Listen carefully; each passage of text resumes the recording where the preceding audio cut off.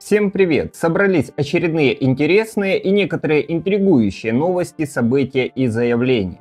Поговорим о интересных ситуациях в Германии и в мире, так что подписывайтесь на канал, кнопка подписаться внизу под этим видео, поделитесь этим роликом в ваших соцсетях и давайте к делу. Итак, в Германии есть новые результаты опросов и новые рейтинги где, согласно новому тренду исследования общественного мнения Института Инса, рейтинг новой партии Сары Вагенкнехт упал до минимума за 3,5 месяца. Союз Сары Вагенкнехт получил на этот раз всего 8% голосов. И как подчеркивает Бильд, за неделю его рейтинг упал сразу на 2 процентных пункта, опустившись до минимума с 23 июня, при этом на недавних выборах в Лантаге Бранденбурга, Саксонии и Тюрингии новая партия Сары Вагенкнехт показала двузначный результат и имеет шансы войти в земельное правительство. А вот сильнейшей оппозиционной силой Германии остается консервативный блок КДС-ХСС, который имеет 31,5% голосов. На втором месте все так же находится партия «Альтернатива для Германии», которая набирает 20% голосов и которая на этот раз имеет на 1% больше по сравнению с прошлой неделей. При этом и партия канцлера Германии Олафа Шольца СДПГ тоже получила на 1% больше голосов, чем на прошлой неделе и имеет на этот раз 16%. А вот партия зеленых Роберта Хабека и Аналены Бербак на этот раз имеет на полпроцента меньше, то есть 10,5%. Зато партия министра финансов Кристиана Линднера СВДП остается на уровне прошлой недели с 4% голосов. Ну и левые тоже без изменений имеют свои мизерные 2,5%. В общем, рейтинг партии Сары Вагенхнехт наглядно снизился, а вот причины этого почему-то не сообщаются. Кстати, есть интересный момент касательно социал-демократической партии Германии, представителем которой является канцлер Олаф Шольц. Как сообщает Bild, генеральный секретарь социал-демократической партии Кевин Кюнерт неожиданно объявил об отставке и остановке политической карьеры. Как подчеркивает издание, в распоряжение Бильд попало его письмо на две страницы в адрес дорогих товарищей по партии. Кюнерт назвал причиной отставки проблемы со здоровьем и заявил, что сложит и мандат депутата Бундестага, то есть полностью уйдет из политики. А по информации издания он страдает психическим заболеванием и в последнее время Кюнерт стал замечать, что ему становится все хуже и хуже. В общем, еще одно руководство правящей партии уходит в отставку. При том, что совсем недавно руководство партии зеленых тоже ушло в отставку. Но идем дальше. Как сообщает Таге Шпигель, правительство Германии скорректировало экономический прогноз на текущий год и теперь ожидают продолжения рецессии.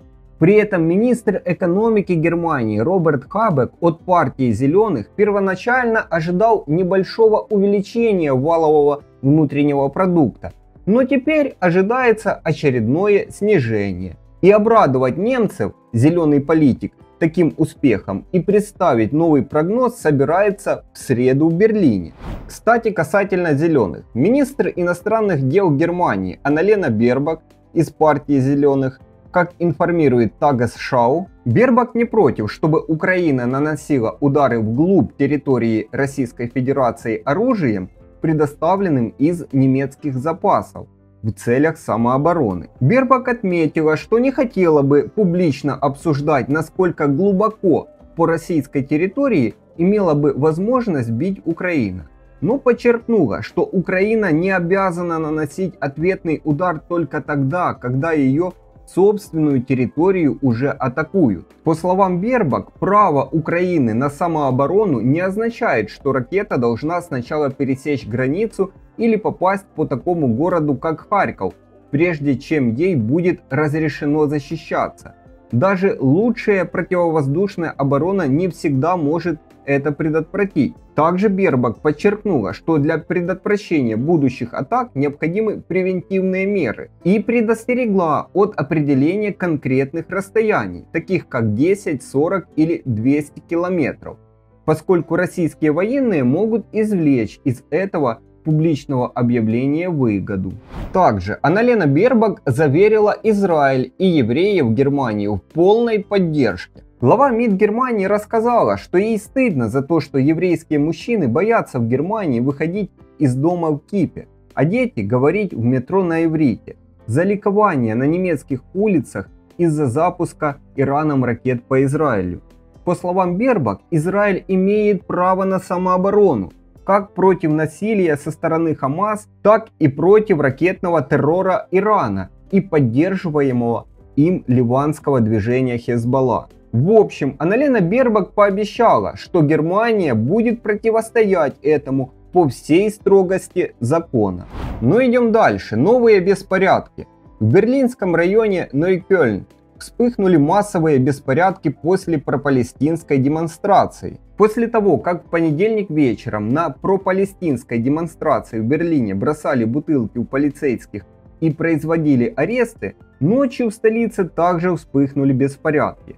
Согласно заявлению полиции, около 50 человек построили баррикады и подожгли шины в Нойкёльне. Четыре человека были предварительно арестованы во время беспорядков в ту ночь. Само собой, показать открыто то, что в этом видео тут я не могу, но это видео есть именно на сайте издания.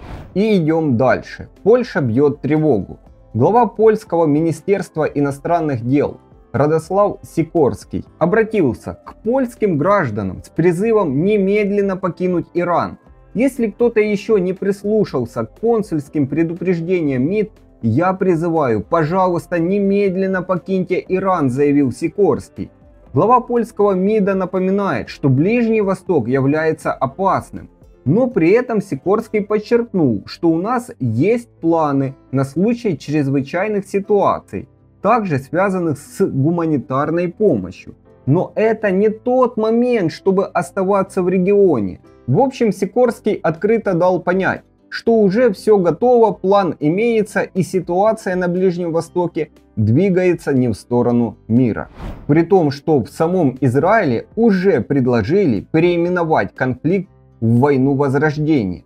Такое предложение поступило от премьер-министра Беньямина Нетаньяху. Нетаньяху выдвинул это предложение на специальном заседании Кабинета министров, посвященном первой годовщине начала войны 7 октября 2023 года. При этом Нетаньяху заявил, что мы закончим войну только тогда, когда достигнем всех поставленных целей, а именно свергнем правление Хамас, вернем домой всех наших похищенных, как мертвых, так и живых, предотвратим любую будущую угрозу Израилю со стороны Газы и безопасно вернем наших жителей на юге и севере в их дома.